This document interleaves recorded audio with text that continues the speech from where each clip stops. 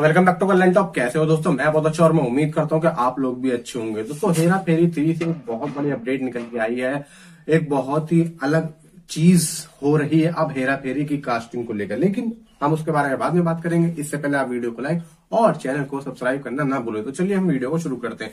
दोस्तों, पिछले कई टाइम से हेरा फेरी थ्री सुर्खियों में बनी हुई है। इस सुपरहिट फ्रेंचाइजी की पिछली दो फ़िल्में काफ़ी सुपरहिट रही थी और उन दोनों फ़िल्मों में अक्षय कुमार, सुनील शेट्टी और परेश रावल ने लीड रोल निभाया था। कॉमेडी से भरपूर इस मूवी को आज भी लोग देखना पसंद करते हैं। हेरा फेरी थ्री अपनी कास्टिंग को लेकर कुछ दिनों पहले चर्चा में आ गई थी। ये सुनने में आ रहा था कि अक्षय कुमार ने इस मूवी से किनारा कर लिया और उनकी जगह कार्तिक आर्यन को बुलाया गया है। ये खबर सोशल मीडिया पे आते ही फैंस ने हल्ला मचा दिया और वो अक्षय कुमार को दोबारा से फ़िल्म में वापस बुलाने की अपील करने लगे।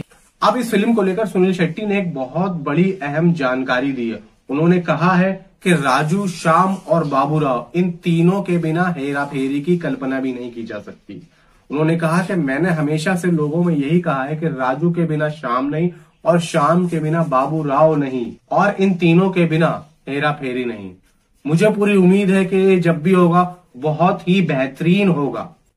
दर्शक की डिमांड पर मेकर्स अक्षय कुमार को दोबारा से इस फ़िल्म में बुलाने की कोशिश कर रहे हैं। यहाँ तक कि फिरोज नाडेड वाला ने भी अक्षय कुमार से इस बारे में बातचीत करने की कोशिश की है।